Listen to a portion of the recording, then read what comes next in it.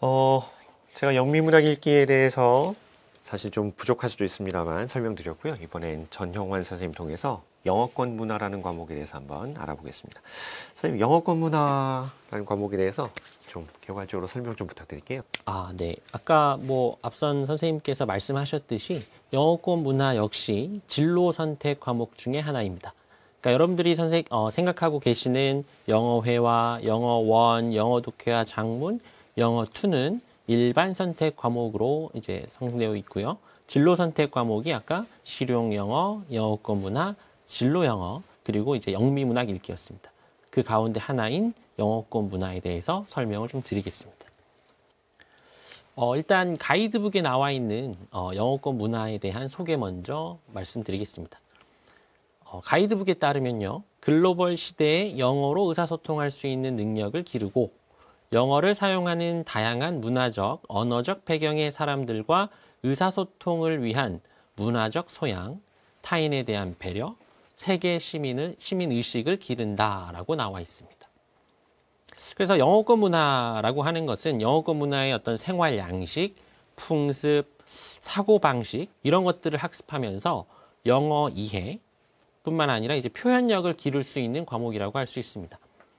어, 항공 서비스, 뭐 관광 통역 이런 타 문화권 사람들과 교류할 기회가 많은 직종에 종사하길 희망하거나 언어로서의 어떤 영어의 배경이 되는 어떤 문화에 대한 통섭적 이해를 갖기를 원하는 학생에게 권할 수 있는 과목이라고 할 수 있습니다.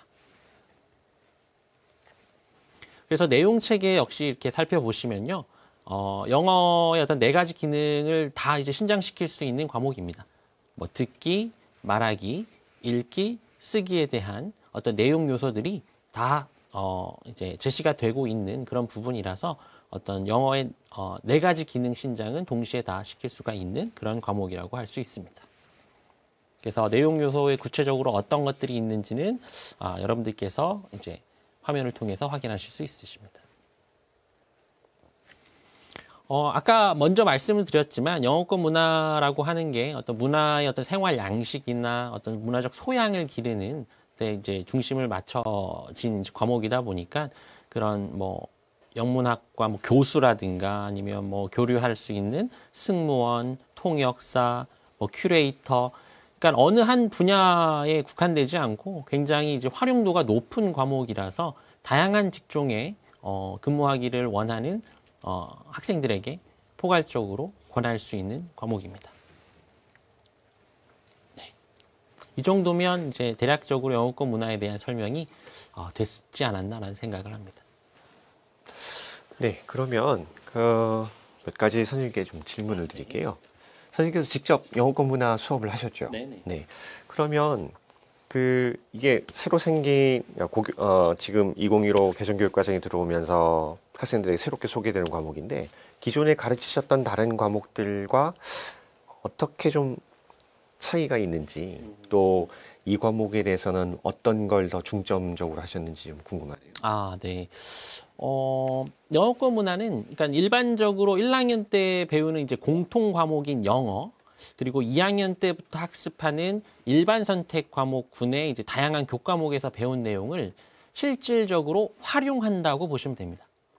그래서 당연히 영어로 의사소통할 수 있는 능력도 기르고 어떤 문화적, 언어적 배경의 사람들과 의사소통하기 위한 어, 여러 가지 음, 소양을 함양하기 위한 과목이다라고 할 수 있습니다. 그럼 여기서 소양이라 함은 유연하고 개방적인 태도, 그리고 타 문화의 어떤 고유성을 존중하는 태도, 뭐 이렇게 볼 수 있겠고요.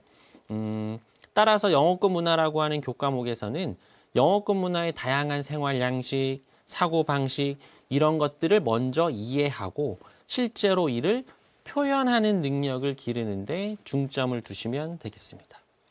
선생님 말씀 들어보니까 영어권 문화를 수강하면 이 사람이 한층 더 업그레이드 될 것 같아요. 그렇죠. 네. 네. 그러면 그런 과목을 이제 실질적으로 학습을 할 때 선생님이 이제 수업을 하실 때 어, 뭐 영어 독해 작문, 공통 영어, 영어 one, 영어 two 하고 이 내용 자체, 학습한 내용 자체에서는 어떻게 다를까요? 어, 일단 이렇게 말씀드려야 될 것 같아요. 영어권 문화는 이론적으로 어, 실제 그러니까 영어 과목군의 공통 과목이나 일반 선택 과목에서 배운 내용을 토대로 영어 의사소통 능력을 향상시키는 어, 실질적인 그리고 문화적 소양을 기르는 과목이다라고 이해하시면 될 것 같습니다. 그래서 당연히 우리와 다른 언어 체계를 갖는 영어권 문화에서 영어를 활용하려면요. 포괄적인 의미로 그 문화권의 독특한 특색을 이해해야 되고요. 따라서 영어를 어떤 문화를 이해하기 위한 어떤 수단, 그리고 영어라는 언어를 하나의 문화적인 산물로 다룬다라고 하는 점에서 조금 다른 점이 있지 않을까. 그리고 그 점을 좀 중점적으로 학습을 어, 해야 되지 않을까라는 생각을 합니다. 그럼 그 문화 그리고 문화를 대하는 태도, 이해하는 소양 이런 쪽으로 계속 이제 강조점을 두시는데요. 그럼 평가는 어떻게 될까요? 어, 뭐 이론적으로 좀 말씀을 드리면 앞에서 말씀드렸다시피 진로 선택 과목입니다. 그래서 어, 일반적으로 알고 있는 학생들이 알고 있는 교과 등급이 나오지 않고요. A, B, C 이제 3단계 척도로 성취도가 표시가 됩니다. 음, 원점 수나 과목 수강자 수는 표기가 됩니다. 그래서 다른 학생과 비교해서 어떤 상대적인 위치를 파악하기보다는 개별 학생의 절대적인 학업 성취도가 온전히 표기될 수 있는 과목이다라고 할 수 있고요. 그 다음에 학습자의 어떤 통합적인 영어 능력을 신장시킬 수 있도록 듣기, 말하기, 읽기, 쓰기 이런 개별 기능에 대한 평가뿐만 아니라 두 가지 이상의 기능을 통합한 평가도 적절히 실행되면서 이를 측정하기 위해서 지필 평가로 시험도 보고요. 그 다음에 다양한 뭐 토론 활동이나 문화적인 이해를 이제 할 수 있는 여러 영상을 접하면서 어, 이렇게 학습하는 그런 어, 수행 평가도 적절한 비율로 구성된다고 할 수 있습니다. 네. 그러면 참 활동도 다양하고 배우는 내용도 상당히 흥미 있어 보이는데요. 실질적으로 학생들과 해보시니까 학생들에게 뭐 이런 발전이 아니면 학생들에게 이런 효과가 있더라 이런 게 있을까요? 어, 그러면 어떤 그 영어권 문화를 선택하고 싶은 학생들 혹은 어, 선택을 해야 되는 학생들은 어떤 학생인가? 라고 하는 어떤 질문으로 좀 이해를 하면요. 어, 영어권 문화라고 하는 것은 영어를 자신의 어떤 진로 선택 과정에서 거듭 말씀드리지만 실제로 활용하고 싶은 학생, 그리고 이를 토대로 우리와 다른 문화권의 생활 양식을 심도 있게 이해하고자 하는 학생에게 좀 추천하고 싶은 생각이 좀 듭니다. 실제로 예를 들어 보면 우리말을 유창하게 구사하는 외국인들을 한번 떠올려 보시면 될 것 같아요. 그러니까 단순히 또렷하게 우리말을 발음하고 글을 쓰는 것만이 아니라 이를테면 우리는 우러등께는 말을 높이고 상황에 맞는 어휘와 말투를 선택하듯이 영어도 마찬가지입니다. 그 영어권 문화의 어떤 문화를 이해하여야 영어를 완벽하게 구사할 수 있습니다. 그래서 영어 구사 능력을 키우기 위해서 텍스트를 독해하고 문법적인 내용을 바탕으로 글을 쓰는 것에서 조금 더 구체적으로 어떤 표현이 이 상황에서는 적절한가. 그리고 그 표현이 나온 어떤 문화적 배경은 무엇인지를 포괄적으로 이해하는 능력을 기를 수 있다라고 됩니다. 그래서 어, 언어를 통해서 그러니까 우리와 다른 어떤 사람을 이해하고자 혹은 그 사람들이 모인 사회를 통합적으로 이해하고자 하는 학생들에게 도움이 되지 않을까라는 생각을 합니다. 그러니까 문화에 대한 이해, 공감, 뭐 이런 것들을 어, 실제로 연습해보고 얻을 수 있다. 이렇게 이해가 됩니다.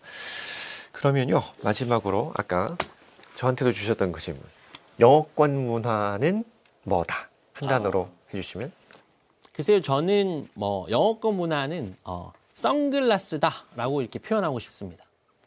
그러니까 이유는 이제 내리쬐는 햇살의 정도에 따라서 뭔가 빛을 받는 사람들의 모습도 다 제각각입니다.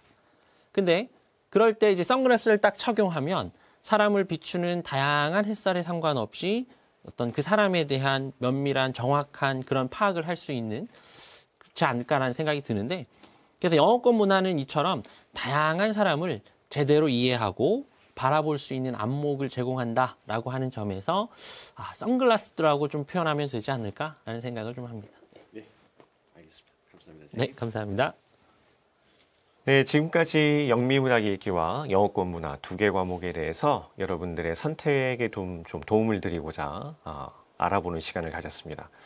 어, 저희 둘이 직접 수업을 하고 학생들을 가르치면서 이 진로 선택 과목에 대해 학생들에게 안내하고 선택을 하고 그리고 어, 또 이제 아, 다시 갈게요. 네. 어, 지금까지 어, 전용원 선생님, 선생님 과 함께 어, 영미문학 읽기, 영어권 문화 두 개 과목에 대해서 알아봤습니다. 이렇게 그 짧은 시간이지만 여러분들에게 과목을 선택할 때 어떤 과목을 어떻게 선택하면 좋은가에 약간 좀 길라잡이가 되어드리고자 안내드렸습니다.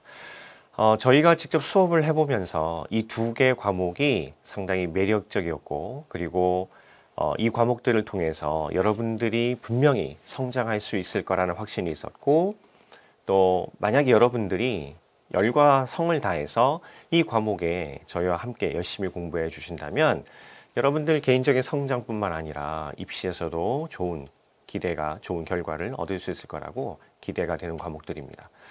어, 이제 1학년을 마치고 2학년 선택 과목을 준비하시면서 또 2학년을 마치고 3학년의 선택 과목을 준비하시면서 저희가 안내해드린 내용을 참고하셔서 현명한 판단 또 아주 좋은 결정 내리셔서 여러분들 어, 학창 시절에 예, 유익한 공부 그리고 좋은 결과 있었으면 좋겠습니다. 감사합니다.